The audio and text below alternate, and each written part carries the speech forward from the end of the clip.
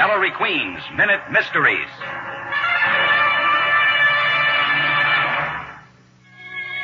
This is Ellery Queen with the case I call the Mysterious Ham.